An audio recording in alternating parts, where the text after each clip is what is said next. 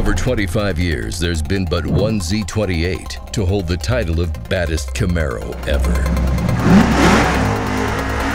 Big Red has been handing out floggings on road courses, hill climbs, open road events, and the flying mile for years.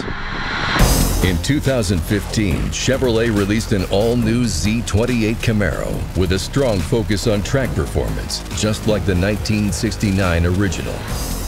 For the first time in over a decade, the iconic Z28 badge rides again on the Camaro that many have called a demon, a monster, a menace to practicality and civility, and a masterpiece. RJ Gottlieb and Team Big Red acquired one of these fifth generation Z28s and decided to reimagine the car in the spirit of the original Big Red. All right, so guys, we just bought this new Gen 5 Camaro and whatever aftermarket stuff you guys want to do to make it go faster. Yep. Make it sound a little meaner. And make it a big red tribute car. We're gonna give it away to charity. All the proceeds are gonna go to Ride to Recovery. Wounded soldiers, and so it's a great cause. A supercharger system by SLP. Bespoke 19-inch wheels by Forgeline.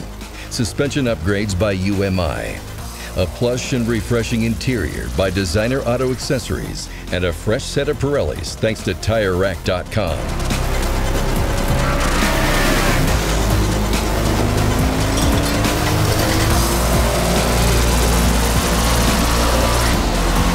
Being a big red tribute car, you know, it's got to have big horsepower.